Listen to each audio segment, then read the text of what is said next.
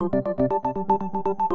family spokesman has confirmed former First Lady Barbara Bush was released from a Houston hospital Saturday after spending several days fighting pneumonia. The 88 year old checked into Houston Methodist Hospital on December 30th.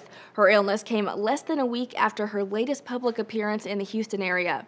Specific information about Bush's condition was hard to come by while she was in the hospital, but she was said to be in good spirits when she checked in. In a statement, Bush said, I cannot thank the doctors and nurses at Houston Methodist enough for making sure I got the best treatment and got back to George and our dogs as quickly as possible. The elder Bushes have had their fair share of health issues over the last few years, along with several hospital visits. In late 2012, former President George H.W. Bush was hospitalized for seven weeks.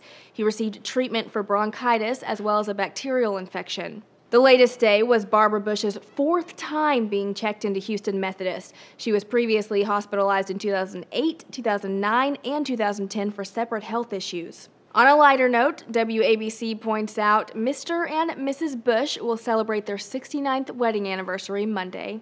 For Newsy, I'm Jasmine Bailey, multiple sources, a broader view.